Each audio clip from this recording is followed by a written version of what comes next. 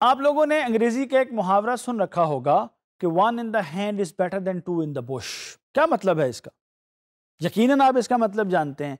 इसका मतलब जनाब ये है कि जो आपके पास है, वो आपका है, आपके कंट्रोल में है। आप जैसे चाहें उसे इस्तेमाल कर सकते हैं और वो उन दो से बेहतर है जो अभी आपके ख्याल में हैं, जो अभी किसी और के पास है और आपके पास मौजूद नहीं है। इसी को इस्तेमाल करते हुए, आप देखें कितनी खूबसूरत तरीके से ये प्रिंसिपल को नाम दिया गया है कि कॉजेशन में क्या होता था? कॉजेशन में ये होता है कि आप पहले ये फैसला कर लें कि आपको बिज़नेस क्या शुरू करना है और फिर आप ये देखेंगे कि रिसोर्सेज कहाँ से आएँगे।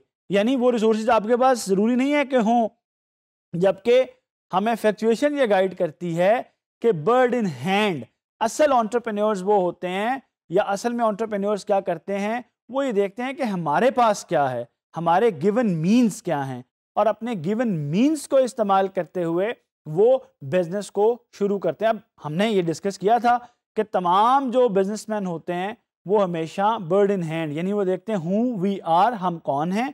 हमारे ट्रेड्स ट्रेस्ट एबिलिटीज़ क्या हैं? वट वी नो हम जानते क्या है? हमारी एजुकेशन ट्रेनिंग एक्सपर्टाइज क्या है? हुम वी नो हमारा सोशल नेटवर्क क्या है और हमारे पास है क्या? हमारी पॉकेट में क्या है?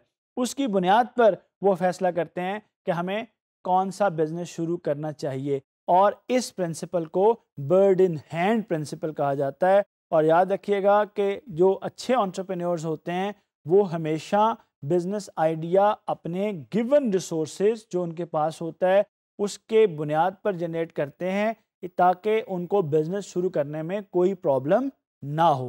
होप आपको ये प्रिंसिपल क्लियर हो गया होगा। Thank you very much